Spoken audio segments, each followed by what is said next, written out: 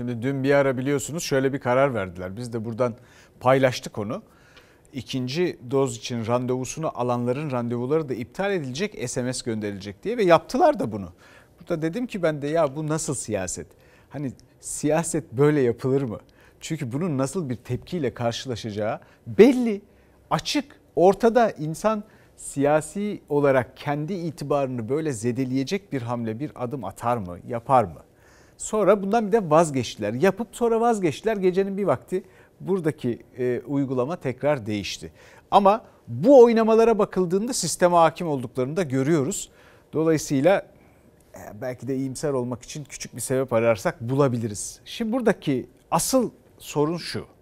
Kısa vadeli siyasi çıkarlar için, vakit kazanmak için, günü kurtarmak için o kadar çok e, böyle sözler veriliyor. O kadar çok vaatte bulunuyor ki bu siyasiler tarafından. Özellikle sağlık konusunda, bilhassa ekonomi konusunda. Bunlar sonra tutmuyor. Tutmadığı zaman güven zedeleniyor.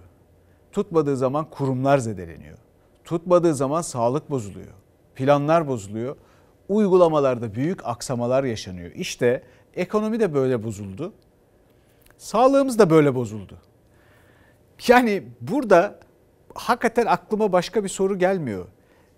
Lütfen gerçeği söyleyin. Hiç gerçeği söylediğiniz oluyor mu? Böyle olmaz. Şimdi geçelim muhalefetin buna tepkilerine. Bakalım onlar ne diyorlarmış? Böyle olmaz mı diyorlar? Ne diyorlar? Muhalefetten aşı soruları. İlk günden bu yana aşıyla ilgili neler açıklandı, neler gerçekleşti? Ya aşı yok.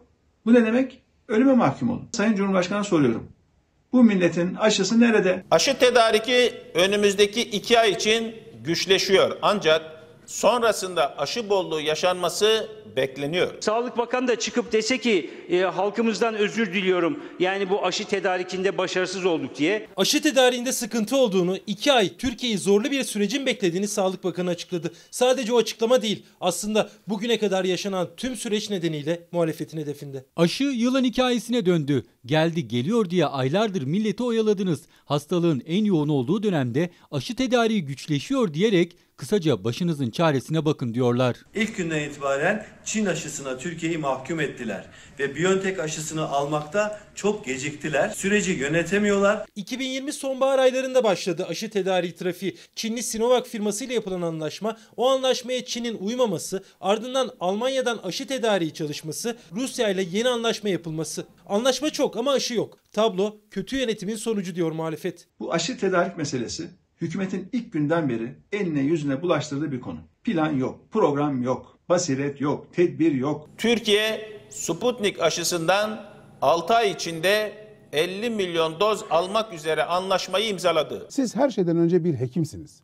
Nasıl manen ve madden perişan hale gelmiş bu milletin gözünün içine bakıp hem de 6 ay sonrasına hayal satarsınız. Sayın Bakan'ın bugüne kadar söylediği sözler yerine gelseydi Türkiye'de 200 milyon aşı olacaktı. 28 milyon aşı geldi Türkiye'ye. Sağlık Bakanı Çin'in kendi vatandaşına önceliğine aldığı için aşı yollamadığını söyledi.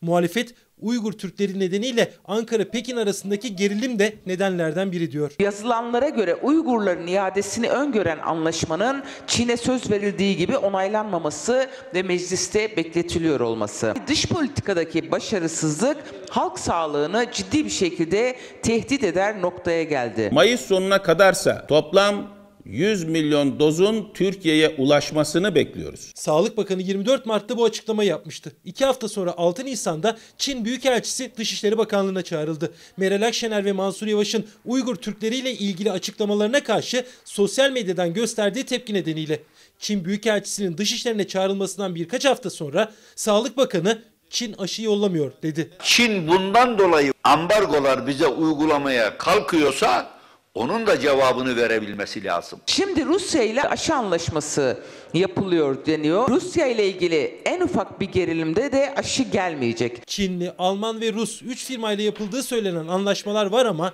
beklenen miktarda aşı yok.